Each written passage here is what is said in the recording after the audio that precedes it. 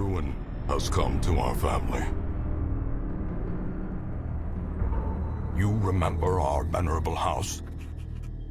Opulent and imperial, gazing proudly from its stoic perch above the moor.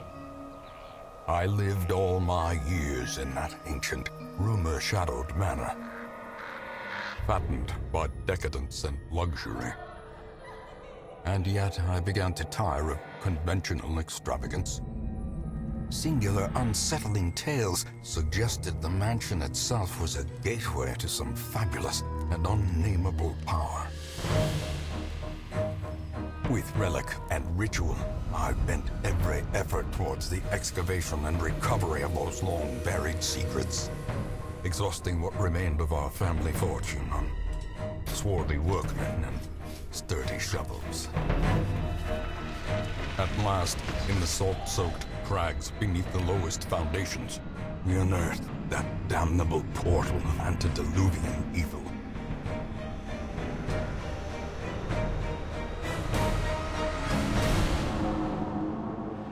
Our every step unsettled the ancient earth.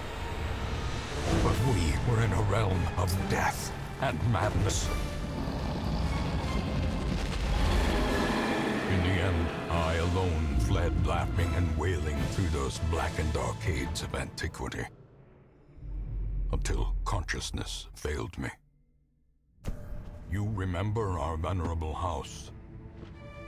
Opulent and imperial. It is a festering abomination. I beg you, return home, claim your birthright, and deliver our family from the ravenous, clutching shadows of the darkest dungeon.